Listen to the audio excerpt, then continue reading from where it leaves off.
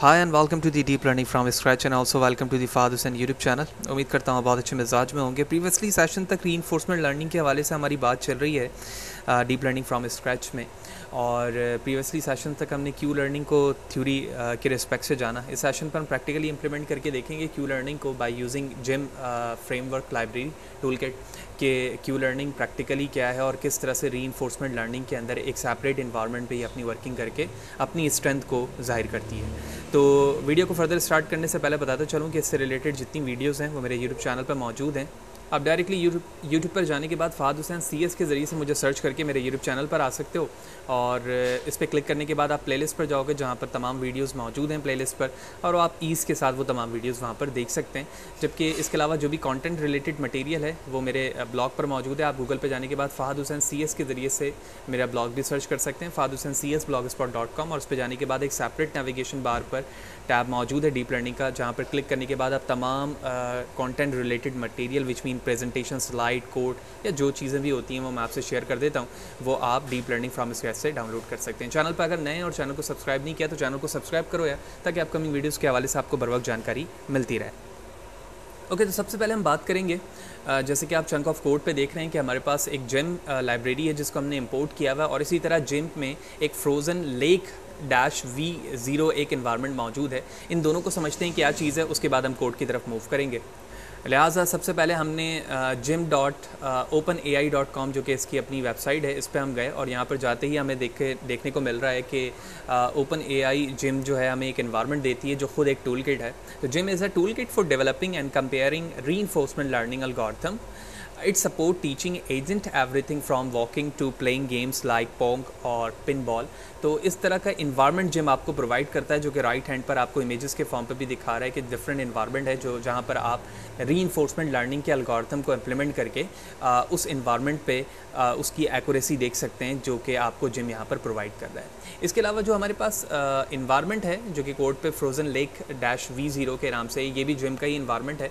और इस इन्वायरमेंट के अंदर आप राइट हैंड पे देख रहे हैं कि हमारे पास चार जो एक्शंस हैं, उनके हवाले से बताया जा रहा है। तो आप इस वेबसाइट पर आने के बाद तफसीला इस बारे में भी पढ़ सकते हैं कि फ्रोज़न लेक क्या है। लेकिन ब्रीफली अगर मैं इन चारों स्टेप्स के हवाले से बात करूँ, जो कि यहाँ पर राइट हैंड पर आपके पास आ रहा है कि right left top and down पर तो वो क्या चीज़ें हैं? तो यहाँ पर आप देख रहे हो कि एस ट्रिपल एफ़ जो लिखा हुआ है, ये इस बात को शो कर रहा है कि स्टार्टिंग पॉइंट सेव है यहाँ आपका। जबकि एफ़ एच और इसी तरह एफ़ एच रिप्रेजेंट करता है कि फ्रोजन सरफेस सेफ़ जबकि इसी तरह ट्रिपल एफ़ एफ़ के बाद जो एच मौजूद है, ये रिप्रेजेंट कर रहा है होल को फॉल टू योर डूम और इसी तरह जो एच डबल एफ़ जी है, ये गोल स्टेट को रिप्रेजेंट कर रहा है where the frisbee is located ठीक है? तो ये डिफरेंट स्टेप्स हैं स्टेट्स के फॉर्म पर, जो इस इन्वायरमेंट पर रहते हुए आपका एजेंट यहाँ पर मूव होगा डिफरेंट एपक्स में या ट्रेनिंग में, और उसके रिस्पेक्ट से आपको एक्यूरेसी मिलेगी कि किस तरह से ये तमाम स्टेजेस को आपके एजेंट ने कवर्ड किया, और जिसके बेस पर ये वर्किंग होकर फाइनल स्टेज तक या गोल स्टेज तक पहुँच सका। अब फाइनली कोड की तरफ़ चलते हैं, और हम समझते हैं कि एक्चुअली कोड में हम किस तरह से क्यू लर्निंग को रिप्रेजेंट कर रहे हैं using the gym environment Jin environment क्या चीज़ है, वो हम जान चुके हैं, ठीक है? तो सबसे पहले मैं जूम करता हूँ। और तो सबसे पहले तीन इंपॉर्टेंट चीज़ें इंपोर्ट की गई हैं जिम नम्पाई और टाइम और उसके बाद हमने इन्वायरमेंट को इम्पोर्ट कर लिया। ई एन वी वेरिएबल के अंदर। उसके बाद as we know reinforcement learning के अंदर हमारे पास एजेंट है स्टेट है एक्शन है।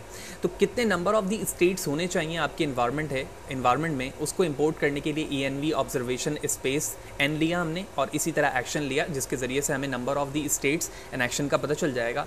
उसके बाद क्यू टेबल है, ठीक है? क्यू टेबल के हवाले से हम प्रीवियसली थियोरेटिकल सेशन पे भी पढ़ चुके हैं कि क्यू टेबल की क्या ज़िम्मेदारी है, जहाँ पर रॉज एंड कॉलम के बेस पर हमारा स्टेट और एक्शन मौजूद होता है। ठीक है? उसको हमने यहाँ पर नम पाई के ज़रिए से क्रिएट किया है स्टेट एक्शन बेस पर फोर बाय सिक्सटीन पर, ठीक है? अभी ये सारी चीज़ें हमें समझ में आएगी। तो सबसे पहले तो मैं शिफ्ट एंटर टू एग्जीक्यूट करके अपना पहला चंक क्यू लर्निंग के फॉर्म पर पाइथन पे एग्जीक्यूट करता हूँ। और उसके बाद हम देखेंगे कि कितने number of the states action and Q table पर हमें चीज़ें मिल रही हैं। ओके तो उसके बाद हम स्टेट्स देखते हैं नंबर ऑफ़ दी स्टेट्स तो स्टेट्स वेरिएबल का नाम था, वो लिखकर मैंने एग्जीक्यूट किया. तो 16 हमारे पास स्टेट मौजूद हैं फ्रोज़न लैक के इन्वायरमेंट पर.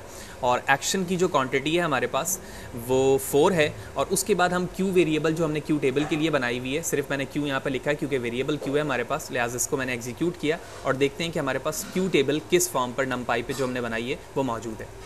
So here it is four by sixteen पर हमारी क्यू टेबल मौजूद है। और अगर मैं क्यू टेबल के हवाले से बात करता चलूँ और बताता चलूँ तो हम, आपको याद होगा कि क्यू टेबल में हमारे पास जो है नंबर स्टेट्स और एक्शन के दरमियान पेयरिंग मौजूद होती है। जैसे कि आप इस इमेज पे भी देख रहे हो, जो कि रफ़ इमेज मैंने यहाँ पर आपको दिखाई है, ताकि वो चीज़ मैं दोबारा से बताता चलूँ, जो कि मैं प्रीवियसली स्लाइड्स पर या प्रीवियसली वीडियो सेशन के अंदर मैं ऑलरेडी कवर कर चुका हूँ। और आप यहाँ पर इमेज पर देख रहे हो कि हमारे पास स्टेट्स और एक्शन के दरमियान जो है ये टू डायमेंशनल टेबल बनी हुई है, जिसको हम क्यू टेबल कहते हैं, जिसके हर एक स्टेट्स पर आ, क्या कि, किस एक्शन पर आ, जो हमारा स्टेट था उसके दरमियान क्या पेयरिंग है in term of the rewards वो यहाँ पर मौजूद होते हैं। अभी ये तमाम वैल्यूज़ ज़ीरो है और हमें पता है कि क्यू लर्निंग में जो हमारी टेबल्स होती है वहाँ पर वो ग्रीडी अप्रोच को यूज़ करता है और जहाँ पर मैक्सिमाइज प्रॉबिलिटी होती है उसकी तरफ़ मूव हो जाता है। तो यहाँ पर ज़ीरो से मुराद कहीं ना कहीं कोई वैल्यू मैक्सिमाइज फॉर्म पर भी होगी जिसमें हम स्टेट पर अकॉर्डिंग टू द एक्शन वो आ, उस तरफ़ मूव होना चाहेंगे।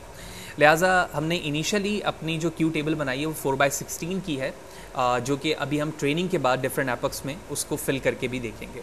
उसके बाद हमारे पास आ, कुछ वेरिएबल्स मौजूद हैं जिसे हम हाइपर पैरामीटर भी कह सकते हैं और इन हाइपर पैरामीटर्स में अंदर हमारे पास एपिसोड्स हैं which mean epochs in short maximum steps है लर्निंग रेट है गामा है रेंडर है और उसके बाद एप्सलोन है। तो एपिसोड में how many time to run the environment from the beginning कितने दफ़ा आप बिगनिंग से चलाना चाहते हैं, ये तमाम जो वैल्यूज़ लिखी हुई हैं, ये प्रैक्टिस पर डिपेंड करती हैं, आप इसमें वेरिएशन कर भी सकते हैं। उसके बाद मैक्सिमम स्टेप है स्टेप्स है, जो कि max number of the steps allowed for each run of the environment यानी एक इन्वायरमेंट के अंदर जो मैक्सिमम स्टेप्स एक एजेंट को आप देख रहे हैं, वो उसकी क्वांटिटी है, उसके बाद लर्निंग रेट है, जो क्यू लर्निंग के फार्मूले के अंदर हमारे पास मौजूद होता है गामा है, उसकी हमने वैल्यू दी है, और इसी तरह एप्सलोन की वैल्यू दी गई है, जबकि रेंडर यहाँ पर इस बात को शो कर रहा है कि if you want to see training set to true अगर आप अपने ट्रेनिंग सेट को जो आपके पास मौजूद है, उसको आप स्टेट ट्रू से स्टार्ट करना चाहते हैं तो आपको रेंडर को यहाँ पर फॉल्स करना होगा। उस तो इस बॉडी को हम एग्जीक्यूट करेंगे और उसके बाद हम अपने इंपॉर्टेंट स्टेज पर पहुँचेंगे जहाँ पर हम डिफरेंट हाइपर पैरामीटर को यूज़ करते हुए अपने मॉडल को बिल्ड करेंगे। तो सबसे पहले हमने एक वेरिएबल रिवॉर्ड लिया ठीक है? जैसे आप देख रहे हो और रिवॉर्ड के बाद हमने एक फॉर लूप यहाँ पर आ, बनाया है और फॉर लूप के अंदर वेरिएबल एप्सलूट यहाँ पर मौजूद है एपिसोड और ये जो एपिसोड वेरिएबल्स है ये वो हमारा हाइपर पैरामीटर है जो हमने ऊपर अभी 3000 के क्वांटिटी पर इनिशलाइज किया है। उसके बाद हम क्या करेंगे? Get start the state in environment after reset यानी रीसेट करेंगे अपने इन्वायरमेंट को, उसके बाद स्टार्ट करना चाहेंगे तो हमने E N V dot reset किया। ई एन वी वेरिएबल है इन्वायरमेंट का, ठीक है? जो कि फ्रोज़न लेक हमने चूज़ किया है जिम से। वेरिएबल स्टेट पर मैंने इसे सेव किया। उसके बाद हम क्या कर रहे हैं? Explore the environment till the maximum step यानी हम इन्वायरमेंट को एक्सप्लोर कर रहे हैं उस वक्त तक जब तक वो अपने मैक्सिमम स्टेप स्टेप्स तक ना पहुँच जाए, जो हमने क्वांटिटी ऊपर बताई हुई है। फिर उसके बाद हमने अंडर स्कोर को यूज़ करते हुए मैक्सिमम स्टेप्स तक गए और उसके बाद हमने कहा कि अगर हमारे किसी भी स्टेज पर इन्वायरमेंट रेंडर पर चले जाए, जिसको हमने रीसेट किया था तो उसको कॉल कर लो। तो इन्वायरमेंट डॉट रेंडर का मतलब है एक्चुअली हम इस चीज़ को कॉल करना चाह रहे हैं, ये ये जो स्टेजेस आए हैं ना यहाँ पर एस एफ़ इस तरह से डिफरेंट एपक्स में आ रहे हैं, जिसके हवाले से मैंने अभी स्टार्टिंग पे बताया भी है, ये। तो हम इस चीज़ को कॉल करना चाह रहे हैं रेंडर के ज़रिए से। अगर ऐसा ना हो तो चेक करो कि N P dot NumPy uniform values पे जाकर के ज़ीरो वन की दरमियान जो वैल्यूज़ आ रही है, वो क्या एप्सोलॉन से लेस देन है। अगर है तो रैंडम एक्शन क्रिएट करो इन्वायरमेंट के अंदर। ये जो लाइन है एक्शन स्पेस ये रैंडम एक्शन को क्रिएट करने के लिए इस्तेमाल होती है तो और इसी रैंडम एक्शन को वेरिएबल हमने एक्शन में सेव कर दिया। उसके बाद अगर ऐसा नहीं है, ठीक है वैल्यू लेस देन नहीं है एप्सलॉन से तो तुम क्या करो? नेक्स्ट स्टेज पर जाओ एजेंट को लेकर, ठीक है? एजेंट को मूव कराओ नेक्स्ट स्टेप पे, जिसके लिए हमने argument max Q state variable को आई मीन फ़ंक्शन को इस्तेमाल किया है। उसके बाद बारी आती है वो तमाम वेरिएबल्स को एक्सट्रैक्ट करने की, जिनको हम अपने क्यू लर्निंग के फार्मूले पे यूज़ करेंगे, यानी नेक्स्ट स्टेट रिवॉर्ड डन ठीक है? इन तीनों को रिट्रीव किया। यहाँ पर अंडर स्कोर इस्तेमाल करने की वजह ये है कि इसके अलावा जो चौथा पैरामीटर है यहाँ पर, वो हमारे लिए इंपॉर्टेंट नहीं है। यही वजह है कि हमने उसको अंडर स्कोर से इंडिकेट किया हुआ है। अब फाइनल स्टेज है हमारे पास। इस चंक ऑफ़ कोड में वो है हमारे पास फार्मूला क्यू लर्निंग का, जो हम ऑलरेडी देख ओके okay, तो हमने जो क्यू लर्निंग का फार्मूला था उसको in term of the equation यहाँ पर शो किया हुआ है। तो आप देख रहे हैं कि हमने सबसे पहले वेरिएबल क्यू को इस्तेमाल किया है। क्यू के हवाले से आपको पता होगा कि हमने बिल्कुल स्टार्ट वाले चंक ऑफ़ कोड पे मैंने क्यू को as NumPy array represent किया था फोर बाई सिक्सटीन पर। ठीक है? तो हम उसे यहाँ पर इस्तेमाल कर रहे हैं इस ट्रेनिंग स्टेज पर तमाम हाइपर पैरामीटर को यूज़ करते हुए। तो Q of state and action equal to Q of state action plus learning rate जो हमने वैल्यू दी है according to the experience and and practice और प्लस किया हमने रिवॉर्ड के साथ गामा वैल्यू को और नेक्स्ट स्टेट की वैल्यू को माइनस किया हमने क्यू ऑफ़ स्टेट एक्शन से। तो अब जो हमारे पास क्यू टेबल होगी वो इस स्टेट एक्शन के रिस्पेक्ट से फिल हो चुकी होगी। फिर हमने बताया कि जो आ, हमारे वेरिएबल स्टेट है उसमें नेक्स्ट स्टेप्स स्टेट की वैल्यू आ जाए। और एट लास्ट हमने ये किया कि अगर ये तमाम स्टेप डन हो जाते हैं क्योंकि इस वक्त हम लूप के अंदर मौजूद हैं। ये जितना कोड है ये लूप को रिप्रेजेंट कर रहा है जो कि हम बिल्कुल स्टार्टिंग वाले लूप में मौजूद हैं ठीक है? इस लूप में एपिसोड के। तो जो हमने थ्री थाउज़ेंड या वट जो भी आप एपिसोड्स की वैल्यू देते हैं उस रिस्पेक्ट से ये डिफरेंट आइट्रेशन चलेगी और ये तमाम वैल्यूज़ को क्यू टेबल में रिपीट करता रहेगा। तो अगर ये डन हो जाता है तो रिवॉर्ड अपेंड हो जाएँगे वेरिएबल रिवॉर्ड के अंदर और एप्सलोन पे हर एक स्टेप पर वैल्यू माइनस होती रहेगी ओ वन जो कि बहुत माइनर है। इस तरह से ये वैल्यू माइनस होती रहेगी और एट लास्ट हम अपने गोल तक पहुँच जाएँगे, यही वजह है कि हमने ब्रेक कर दिया।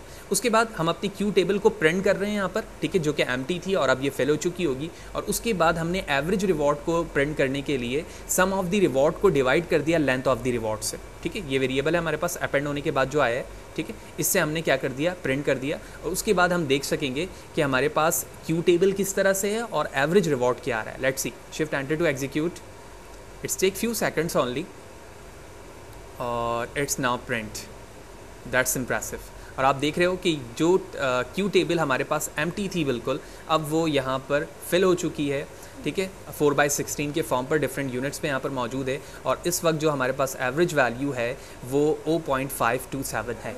नॉट बैड अब मैं render dot environment dot render के ज़रिए से आपको सिर्फ़ और सिर्फ़ एक स्टेप पर वो चीज़ें दिखा रहा हूँ जो मैंने जिम के ज़रिए से यहाँ पर आपको दिखाया था कि किस तरह से वो अपने फोर स्टेजेस को चेंज कर रहा है। ऑल हम यहाँ पर इन चीज़ों को प्रिंट uh, नहीं करवा रहे हैं बल्कि हम सिर्फ़ और सिर्फ़ ग्राफिकली हमने इनके यूनिट्स देखे और हम अब in term of the graph भी देखेंगे कि ये किस तरह से अपने डिफरेंट एपेक्स या एपिसोड्स के अंदर अपनी ग्रोथ कर रहा है। लिहाजा इन्वायरमेंट डॉट रेंडर और लेफ़्ट स्टेज पर इस वक्त हम यहाँ पर मौजूद हैं एच पे ठीक है? एफ़ एच एफ़ एच पर हम मौजूद हैं, ठीक है? तो अगर मैं जिम पर दोबारा आपको लेकर चलूँगा और यहाँ पर शो करूँ तो इस वक्त आप सेकेंड स्टेप पर देख रहे हैं कि फ्रोज़न सरफेस सेफ़ पर मैं इस वक्त मौजूद हूँ अकॉर्डिंग टू द इन्वायरमेंट अब हम तमाम एपिसोड्स की जितनी वैल्यूज़ हैं उनको हम ग्राफिकली देखने के लिए हमने यहाँ पर सेपरेट कोड लिखा है, जो कि बहुत आसान सा मैथ प्लॉट लिप के ज़रिए से मैंने एक फ़ंक्शन बनाया गेट एवरेज और गेट एवरेज में मैंने वैल्यू जो रिटर्न करवाई है सम ऑफ़ दी वैल्यूज़ को डिवाइड कर दिया लेंथ ऑफ़ दी वैल्यूज़ से. और उसके बाद एवरेज रिवॉर्ड में हमने